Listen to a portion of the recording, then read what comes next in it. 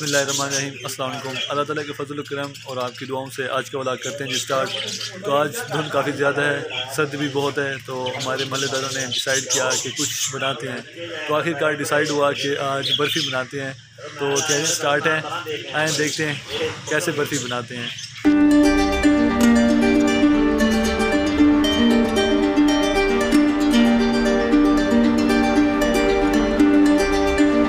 ये सोहेल भाई हैं जो बर्फ़ी बना रहे हैं कुक हैं हमारे। और साथ ही उमर भाई बैठे हैं जो लकड़ियाँ डाल रहे हैं ताकि आग जले। दस किलो हमारे पास दूध था। फ़िलहाल हमने पाँच किलो डाल दिया है। जब जब ये दूध गाढ़ा हो जाएगा तो बाकी हमारे पास बचा हुआ है दूध। ये हम डाल देंगे। इन फिर बर्फ़ी तैयार हो जाएगी। आपको दिखाएँगे। सुल भाई कितनी देर लगेगी? घंटा। घंटा फिर फुल तैयार हो जाएगी। भाई नहीं आपको नहीं जो साथ ही परिंदों की आवाज़ आ रही है ये पैरट्स हैं। ये कौन से हैं? नुमान। ये ऑस्ट्रेलियन पैरट है आदिल भाई। सारे? सारे। मतलब इनमें मुख्तलिफ़ वराइटियाँ मिक्स है। अच्छा अच्छा। ये कितने गए तकरीबन? ये ये सामने बैठा किंग साइज़ का पेयर टू थाउज़ेंड का तकरीबन आता है। अच्छा और बाकी जो आम बजीज बैठे हैं तकरीबन सिक्स हंड्रेड का पेयर है। अच्छा। और रेड का तकरीबन थाउज़ेंड का पेयर है। ये कौन से हैं नुमान भाई? ये आदिल भाई लव बर्ड्स के पीच फेस का पेयर है। ये तीन हज़ार रुपये का पेयर है। तीन के। ये अंडे दे इन्होंने अंडे दे दिए हैं? जी अंडे दिए हैं। कितने दिनों बाद बच्चे निकलते हैं? इक्कीस दिनों बाद बच्चे निकल आते हैं और तकरीबन चालीस दिनों बाद वो बॉक्स से बाहर आते हैं। अच्छा तैयार हो जाते हैं मतलब? तैयार हो जाते हैं। नुमान भाई ये कौन से हैं? ये लव बर्ड्स है लोटिनो लव बर्ड्स ये तकरीबन अड़तीस सौ से चार हज़ार का पेयर आ जाता है। ये कौन से हैं? ये भी बजीज है। इन्होंने अंडे दिए नहीं इन्होंने तो अंडे नहीं दिए। ये भी बच्चे हैं। अच्छा बच्चे हैं।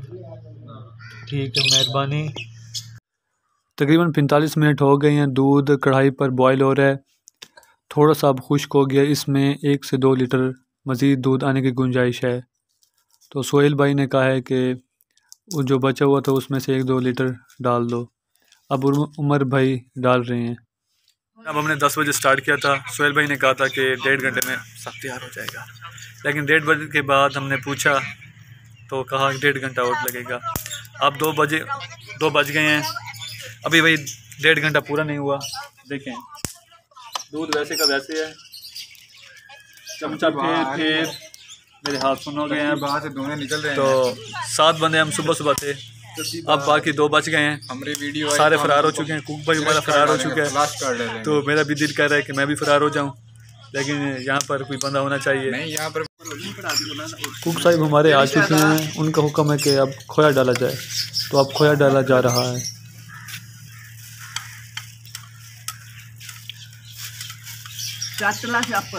नहीं मैं मेरा हटा पड़ा तो तो क्या है आप फटी तो बा या पीढ़ी ले आते। ये और कोई आगे तो बढ़नी नहीं यार। सर भाई कितनी देर है? एक घंटा तीस मिनट। अभी एक घंटा तीस मिनट है तीस तीन बज चुके हैं। तो अभी पहले डेढ़ घंटा था अभी एक घंटा तीस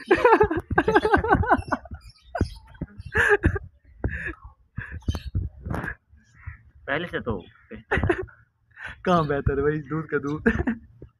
ये तक दूध ही रहेगा लेकिन गाढ़ा हो रहा है। अच्छा गाढ़ा। डेढ़ मतलब- घंटा और लग जाएगा। अच्छा इशा के बाद तक कंप्लीट हो जाएगा। जी जी। अच्छा पक्की बात पहले भी हो सकता है मगर पतला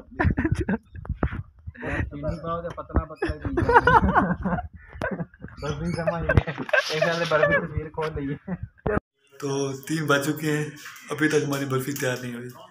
सोहेल भाई कहते हैं कि डेढ़ घंटा मज़ीद लगेगा।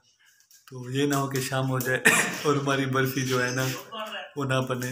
तो मैंने गाँव जाना था अब मेरा थोड़ा सा वहाँ काम था तो अब मैं वहीं जा रहा हूँ बर्फ़ी को छोड़ के। इंशाल्लाह मिलते हैं नेक्स्ट वीडियो में। तब तक के लिए अल्लाह हाफिज़। जब मैं घर शाम को वापस आया तो मेरे मोहल्लेदारों के कुछ ये व्यूज़ थे। ये बीस घंटे दूध काटने के बाद ये सुहेल भाई ने ये सुहेल भाई ने बर्फ़ी बनाई है जिसका ना कोई मुँह ना मत्था है।